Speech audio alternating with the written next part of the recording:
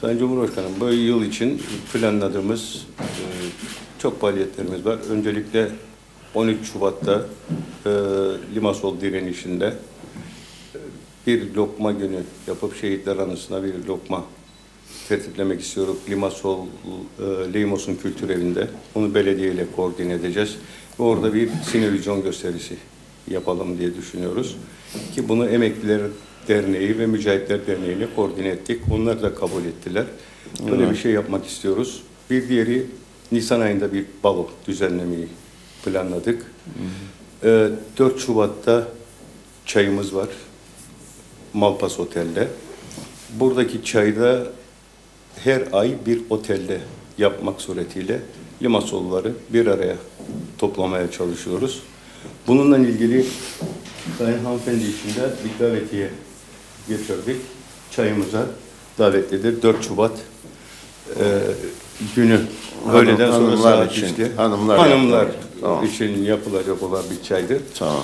ben Bu arada ederim. bir Limasollulara mahsus olan Deniz Panayırı'nı bu yıl belediye ile koordine ederek inşallah Girne kordon boyunda bir deniz panayırı malumunuz rahmetlik Ziya Rızkı zamanında yapılırdı. Yağlı Direk'te şurada burada Evet, evet. falan vardı.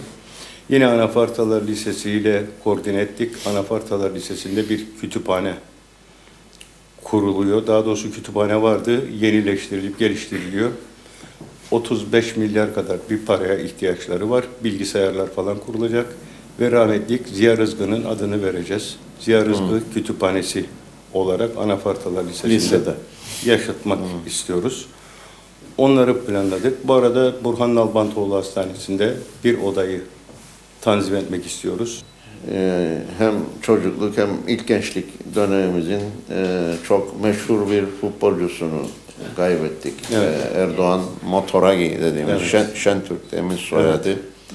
Ee, geçen gün vefat etti. Başını Allah sağ olsun diyelim bütün olun. e, Limasolluların. Ee, eski simaları bir bir yitiriyoruz. Ama bu Lemos'un kültürünü yaşatmak e, güzel bir şey tabii ki. Evet. E, biz de fırsat buldukça aranızda olmaktan büyük memnuniyet duyacağız.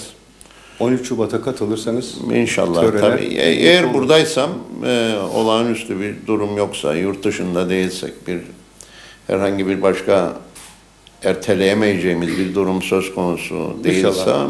memnuniyetle gelirim tabii, Tabii ki. Sayın Cumhurbaşkanı olarak değil de Mustafa Akıncı olarak sizi bekletiyor. Mahalli seviyede biraz Limasol direniş şeyi Evet, malumunuz. evet, evet.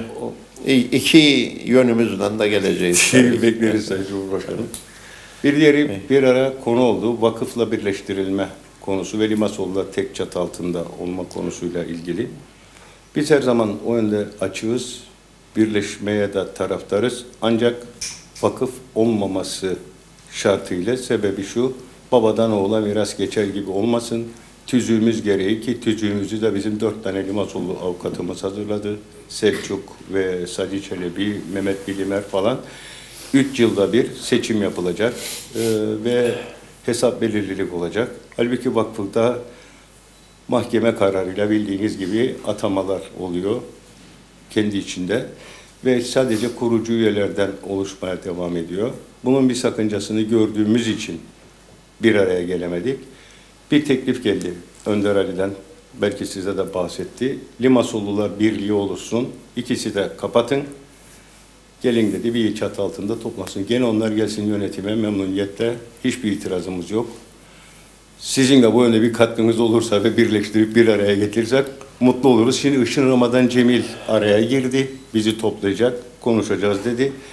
Biz dernekten vazgeçmeye hazırız. Onlar da vakıftan vazgeçsinler. Tek bir çatı altında toplayalım. Dediğim gibi vakıf, onlar da güzel şeyler yapıyorlar. Ama amacımız seçilebilirlik, e, hesap verebilirlik olmasıdır. Sadece kurucu üyelerle götürülmesine karşıyız. Ondan dolayı bir farklılığımız var. Bunun dışında hiçbir şeye itirazımız yok. Ben tabii ayrılıkların ayrıntısını bilemem. Ee, o ayrıntıya da pek girmem doğru olmaz e, Cumhurbaşkanı olarak ama gerek e, Cumhurbaşkanı olarak gerekse bir Lemosunlu olarak, bir Limasollu olarak e, sizin bir çat altında olmanızı elbette Biliyorum. e, gönlüm arzu eder. E, bu ayrılık e, noktalarını e, bir şekilde e, oturup konuşarak, diyalogla çözmek lazım. Tabii. E, biz Kıbrıs'ı birleştirmeye çalışıyoruz federal bir çat altında. Ama öte yandan yerlilerimiz iki ayrı grupta e, toplanmış. E, dolayısıyla e, yani niyet olduktan sonra bütün bunlar hep aşılır. E, bir araya gelip konuşmak lazım. Diyalogla amacımız o. e, İnşallah. aşılamayacak e, sorun yoktur diye düş- düşünüyorum. E, vakıf da çok e, ciddi çabalar içinde. Onların da birçok etkinliğine davet ettiler sağ olsunlar. Katıldık. Sizinkilerine de elbette memnuniyetle katılacağız da bir 13 Şubat'ı mesela birlikte e, anmanız lazım. Yani öyle bir şey ki ayrı ayrı olmaz. E, özellikle 13 Yok o Şubat zaten e, tek bir çatı altında olacak. olması lazım. Mücahitler Derneği'nin Evet. kontrolünde ama Veyahut da mesela geçen yıl e, hatırlıyorum ben o Panayır'a geldim.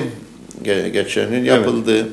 Şimdi iki tane mi olacak bu Hayır. sene? On, orada da birlikte yapmanızda fayda var değil mi? Evet. Yani inşallah anlaşırız. e, iki defa pikniğe katıldım. E, gene e, daha daha önce başka etkinlikleri oldu. Katılabildiklerime katıldım. Mausa'da bir lokma günleri oldu. Ona katıldıydım. Dolayısıyla bu gibi konularda bence birlikte olmanızda fayda var. Yani bu klasik değiştir, birlikten güç doğar ama gerçektir yani. Doğru. Ee, birlik içinde farklılıklar da varsa o farklılıklara da hürmet edilerek e, bir arada var olmayı başarabilmektir. Tabii. Önemli olan. Ama şu anda bir takım faaliyetleriniz var. O faaliyetlerinizin de başarıyla devamını dilerim. Sağ olun. Ee, bu çerçevede de e, bir araya gelme gayretlerinize de benim yapabileceğim bir destek varsa memnuniyetle yaparım. Sağ olun. Olursa iletiriz. Cumhurbaşkanım biz benim e, yazdığım bir liman Sizin yazdığınız evet. kitap var. Size takdim Evet, etmek evet, isterim. Çok, çok teşekkür ederim. Fotoğraf alabilirsen. Evet, arkadaşlar bu resimler. Evet. Yüzü diyor, parolaydı. Yani Limasol direnişiyle ilgili en, Engin Naşit Bey'in kitabıdır bu. Gerçekten derneğimizin bir şildini takdim etmek istiyoruz Sayın Cumhurbaşkanı'na. Çok teşekkürler.